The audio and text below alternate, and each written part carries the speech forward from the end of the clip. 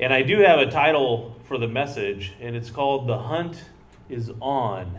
The Hunt is On. Now, why title it that?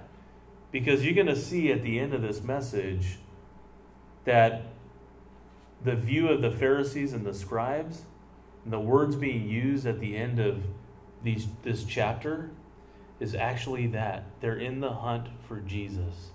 They're in the hunt to kill him. They're in the hunt to get him. And it's because of the conversation that he's having with them right now. And it's because he's calling out their sins. And it's because he's calling out their sins, they think they're so religious and so upright that they don't have any sin. And that's where their hearts were. And it's very important for us to remember there's none righteous, no, not one. We're all sinners. We just need to come to that place to realize it and accept Jesus as Messiah. See, these guys had the scriptures. They knew. They were to have this understanding.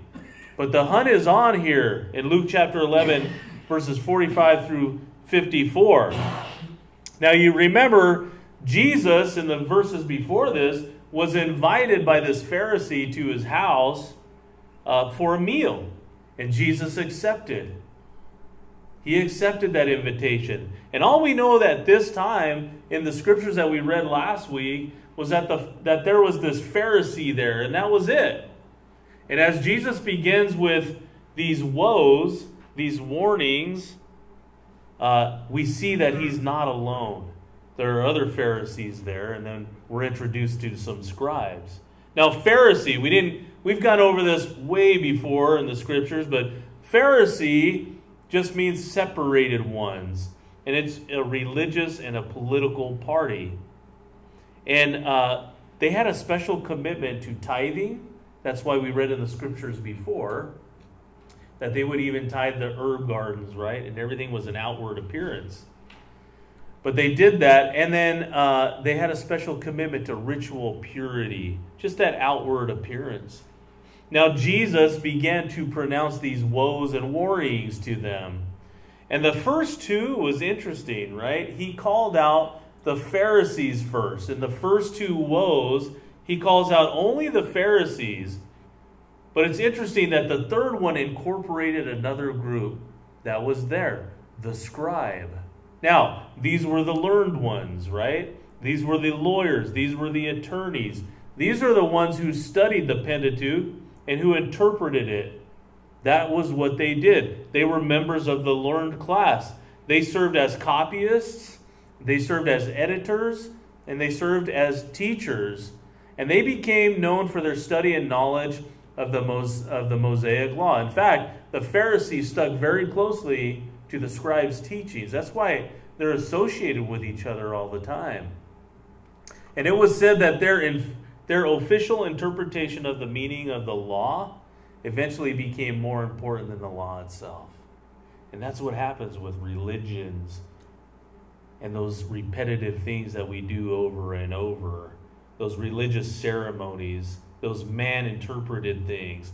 Now, the scribes or the lawyers, they had a position of strength and basically, they took over the role of the priest in the past.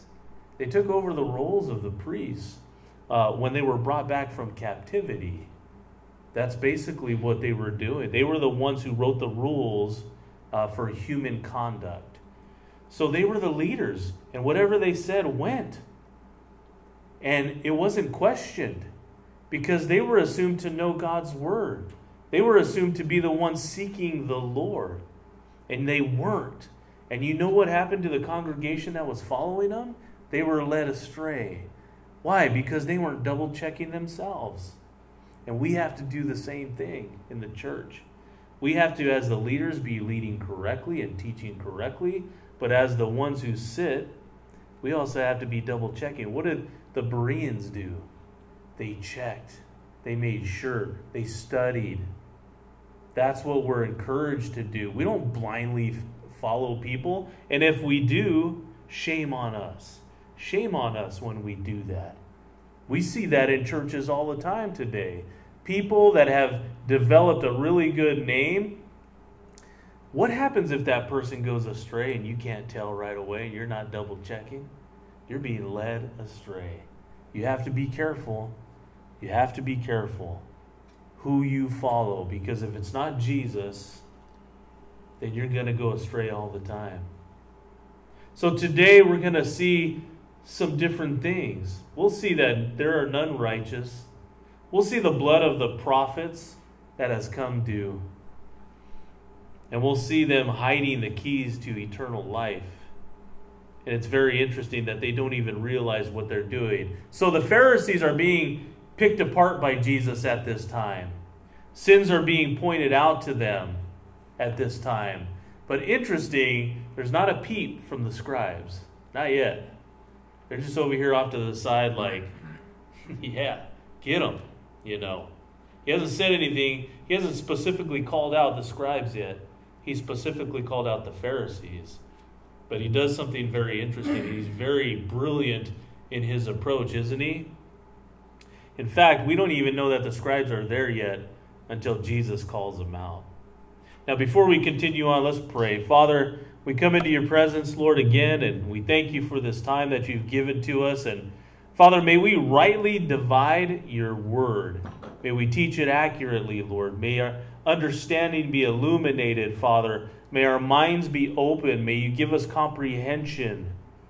Lord, teach us your word, our hearts open. And help us, Lord, right now to be attentive to what your Spirit is saying to the church and to truly just sit back and examine our lives to see where we stand with you, where we're at with you. Are you at a place of correction for us? And are we wise enough to realize it and accept it? And Father, we just praise you now, and it's in Jesus' name that we pray. Amen. Now, not a peep from the scribes at this point. We don't even know that they're there. So we come to verse 45. Finally, we're going to finish chapter 11. You realize we've been in this chapter uh, seven weeks. It took to get through this chapter, seven weeks. That's crazy. Need to get better at that. Now imagine for a moment the setting. Just imagine the setting. If I was a scribe and Jesus was talking to the Pharisees, I would probably remain quiet too. I don't want him to point anything out on me. I would probably be silent if I were one of the scribes. Remember, I don't know, think about a time where you were a kid or you're at work, your boss is chewing somebody else out, or your mom and dad is chewing a brother and sister out, and you're just kind of over here like, you know, don't look my way, please. And then they automatically go, and you, you know, and you're like, oh man. Have you ever thought been in a place like that? I've been in a place like that where you're just trying to sit back and be quiet. I've seen it happen in my own home. You know, when we're getting when we're trying to, you know, we don't get upset at the kids, right? No, when we're getting upset at the kids, it's like uh, you're telling one kid something, and all of a sudden the other one's sitting over here silently, and you go, "Hey, and you too." you know, and you're like, what? Hey, what are you talking about? I think that's kind of the setting here. Scribes are just chilling. They're over here back, you know, kicking back. Jesus is getting all over the Pharisees. Now the scribe is called out. He's called out because Jesus, back in verse uh, 44 here, says, Woe to you, scribes and Pharisees, hypocrites! And all the time he's been talking to the Pharisees, and now he calls them out. So, what happens? This scribe goes right into defense mode. Do you go into defense mode when Jesus points out your sin? Well, this, this, and that, Lord. Well, it's because of this. It's because of that reason. We go into defense mode. Now, if this scribe didn't do anything, why is he defending himself? If he didn't do anything wrong, why is he defending himself? When I was younger, um, running the hoods of La Puente, me and some friends were going around the neighborhood and uh, not doing stupid things, knocking down mailboxes and the stop signs and you know the loose ones, and we were just taking them off, throwing them on the ground or whatever. And uh, one of my friends, we were at the corner of a street. One of my friends does it. I I didn't do it this time, and uh, a neighbor yelled out, and then everybody started running except one of our other friends. And he goes, he looks at me and he goes, Well, why are you running? I said, Well, because the sign he goes, Well, if you didn't do anything, well, why are you running? Well, I was associated, right? I was associated with them. That's why I was running. So he, I, I automatically, you automatically feel you have to defend yourself. But if you didn't do anything, why, why are you running then? See, he's running, he's defending himself because he knew he was being attacked. Is this not his God? Is God not Jehovah Nissi to this guy, his banner? Isn't it obvious that Jesus struck a nerve with this guy? That's what was happening. Jesus struck a nerve. That's what happens to us when he reproaches when he tells us we're doing something wrong, when he exposes sin in our lives. That's what begins to happen. He strikes a nerve with us, and then we go into defense mode. Even Christians, when we're supposed to be wise and we're supposed to accept correction and say, Lord, you know what? You're right.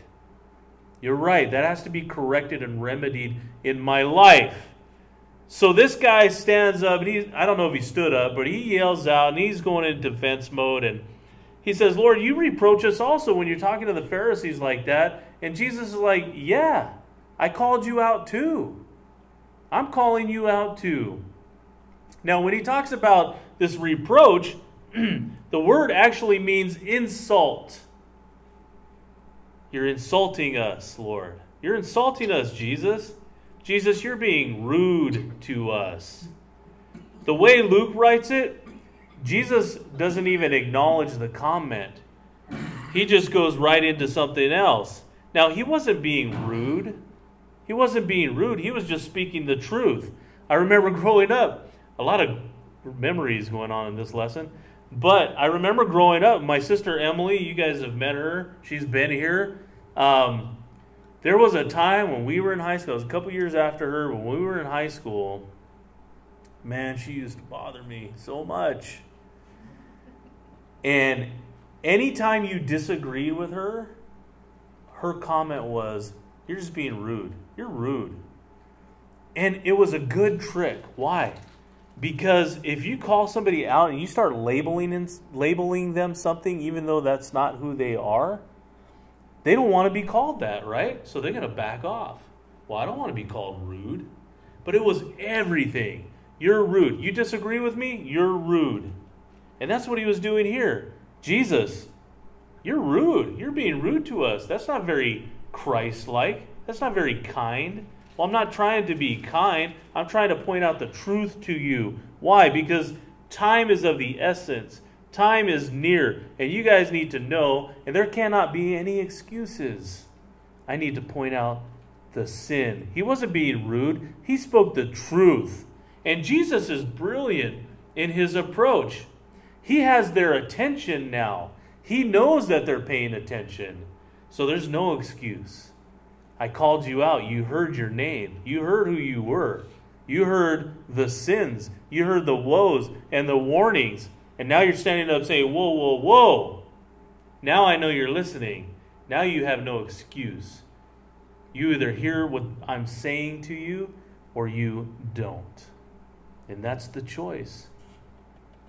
Jesus takes different approaches, but now he's being very, very direct. He wasn't being rude, he spoke the truth, and we don't like the truth being pointed out to us, right? If it's not favorable. If it's not favorable to us, you know, we don't want to be pointed out. I don't want to be called rude. So when my sister would call me rude, I would back off. And she had my number. She knew it. I think that's what this trick was trying to be done by this scribe. And Jesus is like, no, ain't having it.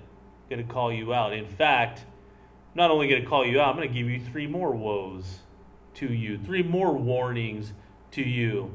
The Lord always knows how to approach us and gain our attention, doesn't He? He absolutely does. Turn to Revelations for a moment. Revelation. Revelation chapter 2. Everybody know where that's at?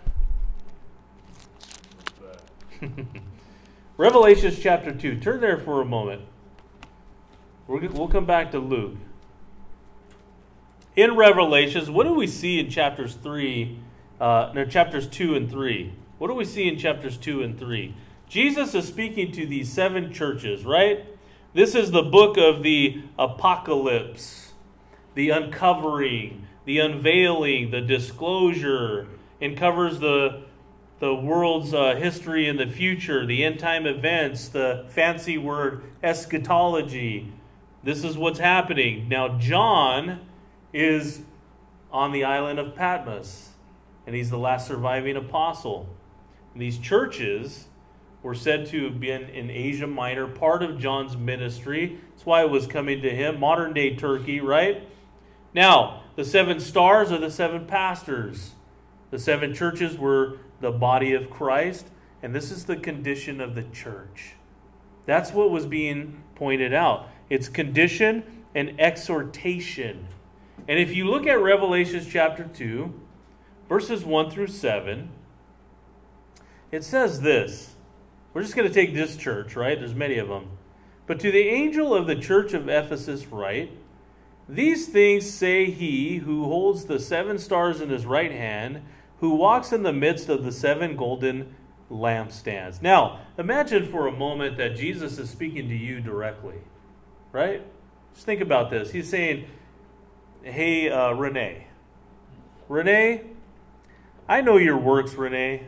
I know your labor and I know your patience, and that you can't bear those who are evil, and you have tested those who say they're apostles and are not, and you found them liars. You've persevered, you've had patience, you've labored for my name's sake, you have not become weary. Now, if Jesus is telling you those things, I don't know about you, but I'd be kicking back going, Yeah, man, I'm doing it. Thank you, Lord, for recognizing me and all of my efforts Praise me. Hallelujah. I'm doing it for you. Awesome. Now he's got my attention, right? He's complimenting me. He's pulling me in. Brilliant. But then he says, okay, now I have your attention and you're listening, check it out. I have this against you. You've left your first love. Remember, therefore, from where you've fallen, repent, do the first works, or else what? And then he goes into the warnings, right? And then in verse 7, he who has an ear, let him hear what the Spirit says to the churches. What is he saying? Listen. I have your attention now. There's no excuse. I'm telling you, listen to what I'm saying. After he knows we are listening, he goes into areas that we don't want him to go. We don't want him to search our hearts. We don't want him to go into the dark places. We want, just like we try to do with everybody else, we want the exterior to look good. Oh, there's no problem with me. I'm not dealing with anything. How often do we do that? And we never tell anybody what's happening. We try to do the same thing with Jesus. We try to do the same thing with our Lord, our Creator, the one who made us, the one who understands us, and we can't hide anything from Him. So why not just open up and say, Lord, you know me, man. Search me, try me, know me, show me where I'm failing. You know? Why? Because when I am strong, He is strong? No. When I am weak, He is strong. He is made strong. I am strong in my weakness. Man, with Jesus, up is down, isn't it? It's crazy. It's contrary to the world. There is none righteous, no, not one, the Bible tells us. We all, every single one of us, just a reminder if you in case you forgot, we all have a sin problem. All of us. And it has to be dealt with, even the Christian. We need correction. And it cannot be dealt with if it's not exposed and it's not remedied. And we can be like the scribes, can't we? Absolutely, we can. See, we see the Lord sometimes warning somebody else. And we think sometimes, oh, Lord, yeah. And we remain quiet on the side or try to ignore the warnings. We see somebody going through something uh, as a result of their sin, in the same sin that we're involved in and we think that we're going to get away with it, we need to heed those warnings. We can think that those warnings are not for us because He's not warning us directly sometimes. But we need to look at those examples. That's why we have God's Word. We see the examples of all those guys who have messed up in the past. And we think, oh, we could do the same things and get away with it. No, there's going to be repercussions. You live by the sword, you die by the sword. When Jesus begins to warn you and me of something, and when he hits a nerve, how do we respond? How do you respond? How should we respond? Well, I don't know. Let's look at the Proverbs, right? Let's look at those Proverbs. Now, I set up these Proverbs out of the New King James and then the New Living Translation just to give us some flavor. But Proverbs 12:1 says, "Whoever loves instruction loves knowledge, but he who hates correction is stupid." I like that. It's just plain. New Living Translation, "To learn you must love discipline. It is stupid to hate correction." Who likes to be disciplined and who likes to be corrected? I don't. I don't think many people do. But the wise person, the Bible says, heeds instruction. Proverbs 13:1 A wise son heeds his father's instruction, but a scoffer does not listen to rebuke. In the New Living Translation, ah, bleh, translation, a wise child accepts a parent's discipline, a mocker refuses to listen to correction. 1512. A scoffer does not love one who corrects him, nor will he go to the wise. Or mockers hate to be corrected, so they stay away from the wise. Or what about this one? Proverbs 3 11 through 12 in the New Living Translation. My child, don't reject the Lord's discipline, and don't be upset when he corrects you. For the Lord corrects those he loves, just as a father corrects a child in whom he delights. Was David disciplined because God hated him? Are you disciplined because God hates you? No. If you're not being disciplined sometimes, you better check your heart. See if you're right with the Lord. If He's leaving you alone, that should cause you concern. If He's not convicting you and convicting your heart and telling you things that need to be changed, then maybe you need to examine where you're at when you walk with the Lord. He didn't discipline David because he hated him. God wanted him restored. And what did David say in Psalm 139, verses 23 and 24? He says, Search me, O God, and know my heart. Try me, know my anxieties, and see if there's any wicked way in me, and lead me in the way everlasting. Do you ever pray that prayer? Have you ever really just sat down and said, Lord, man, you know all the sins in my heart. In fact, Lord, let me share them with you. Have you ever done that? Have you ever actually shared those deep, dark secrets in your heart? The ones that you would be totally ashamed of if somebody else knew, just with you and the Lord, and said, Lord, I want this. I want to do this. And I know I shouldn't. And I know it's not right. Why is my heart so desperately wicked? Can you change me? Have you ever prayed that way? He already knows. He can already see it. But man, just something about verbalizing it with the Lord. Do you think when you do that, He's going to look at you and, and say, Oh man, that's crazy. Like, dude, get out of my sight. I don't even want to look at you. Do you think do you do that to your children? Think about that. Those of us who have kids, if my kids came to me and said, "Dad, I got this huge issue and I'm so embarrassed by it." Would I look at them and put them to shame? No way. Embrace them, love them. That's what he wants for us. Turn with me now to Hebrews chapter 12. Hebrews chapter 12. I know, we're going all over the place. What does this have to do with Luke? We'll get back to that. Hebrews chapter 12, verses 7 through 11. Now, I teach out of the uh, New King James Version, but I liked the New Living Translation on um, on uh, this verse here. It says, As you endure this divine discipline, remember that God is treating you as his own children. Whoever heard of a child who was never disciplined by his father? If God doesn't discipline you as he does all of his children, it means that you are illegitimate and are not really his children at all. Since we respected our earthly fathers who disciplined us, shouldn't we submit even more to the discipline of the Father of our spirits and live forever?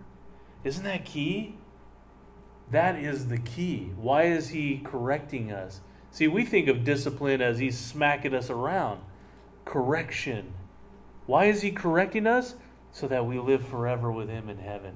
That's the warning. Not to love this world. He goes on in verse 10 For our earthly fathers disciplined us for a few years, doing the best they knew how. But God's discipline is always good for us. Always. So that we might share in his holiness. No discipline is enjoyable while it's happening. Here he is confessing. It's not enjoyable while it's happening, it's painful. But afterward, there will be a peaceful harvest of right living for those who are trained in this way. You should be concerned when the Lord does not seem to be speaking to you about your sins through this process of sanctification. You should be concerned. Where are you really at with the Lord? Now, we need to truck along here um, because last week, man, I taught for 55 minutes. I'm sorry. I know some of us got to get up and go. So let's let's move along here. Um, verses 46 through 51. Let's take that chunk of passage here and see what the Lord is saying uh, after this um, lawyer stands up and says, Hey, you reproach us in verse 46, it says, And he said, Woe to you also, lawyers, for you load men with burdens hard to bear, and you yourselves do not touch the burdens with one of your fingers. Woe to you, for you build the tombs of the prophets, and your fathers killed them. In fact, you bear witness that you approve the deeds of your fathers, for they indeed killed them, and you build their tombs. Therefore, the wisdom of God also said, I will send them prophets and apostles, and some of them they will kill and persecute, that the blood of all the prophets which was shed from the foundation of the world may be required of this generation, from the blood of Abel to the blood of Zechariah, who perished between the altar and the temple. Yes, I say to you, it shall be required of this generation. Woe to you, lawyers! For you have taken away the key of knowledge, you did not enter in yourselves, and those who were entering in, you hindered. A lot going on here. So while the Pharisees received three woes, the scribes received four total because they were included in the last one with the Pharisees. Now, notice how it was the ones with the most sins pointed out that tried to defend themselves the most. I don't know if there's anything to that, but it's just interesting note. Now, Jesus goes into these illustrations of burdens, tombs, and this key. Now, you load men in verse 46 with burdens hard to bear. These burdens, what were they like? They were like the prescribed washing of the hands that we talked about last week. First, you pour it over this hand. First, you pour it over this. You say the blessing. You wipe your hand. You eat something you do it all over again, you know. That wasn't written in the law. It was never prescribed. It was in the Old Testament for the priests to do during a service. But it became it became law. They never did anything also to help carry the burdens either. Now, there's something that was back then that was called Corban. Mark chapter 7 tells, about, tells us about it. You don't have to turn there. Let me just read it. Mark 7 9 through 13. Jesus, he said to them, All too well you reject the commandment of God, that you may keep your tradition. For Moses said, Honor your father and your mother, and he who curses father or mother, let him be put to death. But now, Abel was killed by Cain, right? He's talking about from Abel to Zacharias, right? To Zechariah. Zechariah, Zacharias. Can't remember. Get those all mixed up. He's talking about from, from those two. Now, we know Cain was killed, uh, Abel was killed by Cain out of what? Envy and jealousy. He's the first martyr. Now, Zechariah can uh, refer to two different guys, both stoned in similar fashion. It's outlined for us in Second Chronicles 24, but he says from Abel to Zechariah. Why? Because Second Chronicles was the last book in the Hebrew Bible. So he went from that time to that time, beginning to the end. See, we would think it would be Malachi, and we would say, well, how was Malachi, you know, killed by the well, he was one of the prophets killed? No. This is what was happening. This is what Jesus was describing. In fact, the Pharisees and scribes put on a facade, and, and they were trying to separate themselves from their forefathers. But you know what? They were just like them. They were the same type of men. Jesus was trying to point that out to them. How? Well, remember in Matthew's account, in Matthew 23 29 through 30, uh, Jesus is talking to the same guys. He says, Woe to you, scribes and Pharisees, hypocrites. And what does he say? He says, Because you build the tombs of the prophets and adorn the monuments of righteous, and say, If we had lived in the days of our fathers, we would not have been partakers with them in the blood of the prophets. Now, I don't know if it's on the screen here, but um, the monuments to the prophets. The one that's coming on the screen is on the Mount of Olives. Supposedly it's for Haggai, Zechariah, and Malachi, and that's what it was built for. Um, but isn't this just like us today? Think about it. We read the Bible sometimes and we say, well, you know what?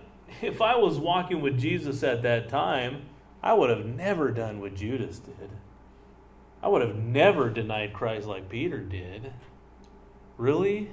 You think so? We have the old, we have the whole picture. They didn't have the whole picture, but we do now. That's what they were doing. These guys at this time, these scribes and Pharisees, were looking back at those prophets and saying, "Well, we would have never done that." When in fact they were getting ready to do the same exact thing. See, they built these to make it appear that they were honoring those prophets and that they were distancing themselves from their forefathers, but the reality was they were just like them. And in verse 49, he says, I will send prophets and apostles. Some you will kill, some you will persecute. Now imagine that. They're trying to set themselves apart from those guys, but Jesus is telling them, hey, you guys are going to do the same thing. They were about to do it to Jesus on the cross. They would end up crucifying Peter, persecuting John, and Jesus rightly prophesied. Now, I wonder if the apostles at this time, they're listening to this conversation, picked up on what Jesus was saying here uh, about them. You know, hey, get them, Jesus. Get them, Lord. Did they think, uh, hey, wait a minute, he's talking about me. Like they're going to kill me and persecute me? You know, I wonder sometimes if they were catching it. Do we catch it all the time? What Jesus is saying? We have to be careful with with our desire to be agreed with and liked. And that's what these scribes and Pharisees were attempting to do. They wanted to be agreed with, they wanted to be liked. We're taught in the Bible to live peaceably with everybody if it is possible. If it is possible. And you know what, as a Christian, it's not always possible, is it? It's not. Why? Because we're contrary to the world. We won't agree with them. We won't say yes or we shouldn't. And then we're also told that if they persecuted Jesus, who else would they persecute? They would persecute us. That's what we're told. Remember with me back in Luke chapter 6, 26, Jesus pronouncing woes again. Woe unto you, when all men shall speak well of you, for so did their fathers to the prophets. Jesus wasn't talking to the Pharisees at this time. He's talking to the disciples. He was talking to the disciples. Woe unto you when all men speak well of you. Now, was Jesus saying that I can't have a lot of friends or be liked by many? Not at all. That would be foolish. The warning is not to place a higher value on relationships with friends and family more than your relationship with Jesus. Some people don't want to have a part with Jesus. Do you pick them over the Lord? What will you do when friends or family say, hey, that Jesus and church thing, man, that's not for me. Don't bother with me with that stuff. I don't want any part of it. You continue to hang out with them? You continue to do things with them even though they're contrary to what you believe? We have to be careful who we hang out with. The Bible tells us that bad, uh, uh, good morals can be corrupted in that fashion. Am I telling you that you have to, you know, get rid of all those people? No, I'm not saying that at all. I had to do that right out of high school. I remember it vividly. I had accepted Christ. I used to have this really good group of friends that I hung out with. Good guys, man. I love them. I still love them. I sometimes get to talk to them, but I still can't hang out with them because of the way that they live. And it's not because I hate them. It just can't I can't be part of it if I'm going to try to walk this life with the Lord. I can't be part of it. I love them. I pray for them. And I don't try to pull myself away from them, but guys I know from high school, you know, and uh, I remember that time in my life where I would begin to speak to them about the Lord, and I remember them telling me to be quiet about it. They didn't want to hear anything about it. And I remember the Lord telling me, You need to separate. And I remember how crushed I was because my parents at that time were going through a divorce. I didn't have anybody. Uh, um, I didn't have anybody to hang out with. And I was losing them too. And I thought, man, is this Jesus thing really worth it? But man, such a peace came through that. Jesus pointed out their sins of hypocrisy, the burdens that they placed on others, and they didn't even place them on themselves the facade that they put up, trying to say that they were not like their forefathers, but all along they were just like them. Why? Because they were about to kill the greatest prophet. They didn't even realize it. This is why Jesus was telling them that the blood of all the others was going to be accounted to them. Now, we all have blood on our hands. We've all, because of our sins, nailed Jesus to the cross. You want to know who put Jesus on the cross? look in the mirror. But that blood on your hands, what does our Savior do? He comes and says, Let me wash it all off when we accept Him as Christ and as our Lord and Savior. And that's a beautiful picture. So he goes on, we're going to wrap up verses 52 through 54. Woe to you, lawyers, the last woe, for you've taken away the key of knowledge. You did not enter in yourselves, and those who were entering in you hindered. And as he said these things to them, the scribes and Pharisees began to assail him vehemently and to cross examine him about many things, lying in wait for him and seeking to catch him in something he might say, that they might accuse him. You have taken away the key of knowledge. Hey, you guys, with all these burdens and man made traditions that you have that have become law now, the key of knowledge was clouded. What was the key of knowledge? Messiah. Messiah spoke about in the Old Testament. If you read the book of Isaiah, wow, man, it's amazing how much Jesus is shown in there throughout the Old Testament. Messiah had faded into the background because of, it was clouded with all the man made traditions in this religion now. We see that happening in religions today. Jesus is clouded by all of the man made traditions that other churches make you do and put burdens on you. And we have to ask ourselves as Christians do we hide the key? Do we hide the key in our pockets, trying to act Christian in one setting, and in another setting, we hide that key? I mean, we have the cure, don't we? Do we tell other people about the Lord? Or do we just act like them when we're around them and then act Christian when we're around Christians? Because if we do that, we've got no part with the Lord. Proverbs 9:10 says, "The fear of the Lord is the beginning of wisdom, and knowledge of the Holy One is understanding. That's it. That's the key. They were no longer teaching the scriptures about Messiah. If they were, they would have recognized him. And we have to be careful not to blindly follow leaders like that, that once had a good name, but that going off in a different direction. Be careful. Be careful with that. Be careful with teachers who have had a good name in the past, but are going off now into their own way. But because of their reputation in the past, people are blindly following and not paying attention. Not paying attention. In verse 53, the, it says that they begin to assail him vehemently.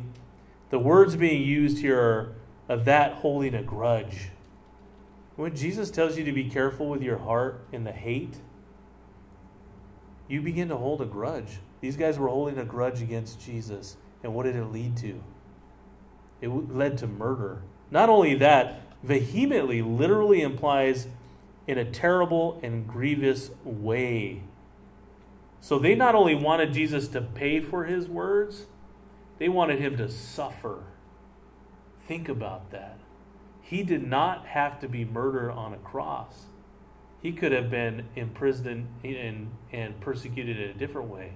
But they hated him so much, they wanted him to suffer in a painful way. The hate for Jesus certainly came to a head at this time. Man, this is it. This is ultimate.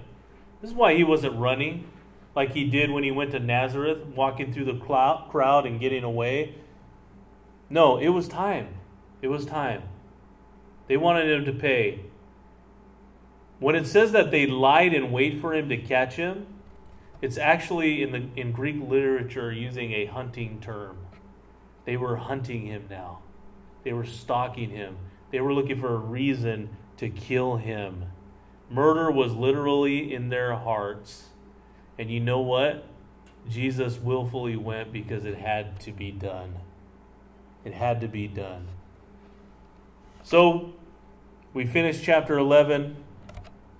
Finally, after seven or eight weeks, I think, we'll get into chapter 12, where Jesus continues to warn about hypocrisy and as we go out of here, may we remember these Psalms and this proverb. Psalm 126, 5 through 6. And when times get hard, remember what your calling is. Those who sow in tears shall reap in joy. He who continually goes forth weeping, bearing seed for sowing, shall doubtless come again with rejoicing, bringing his sheaves with him. Proverbs 24, 10 11.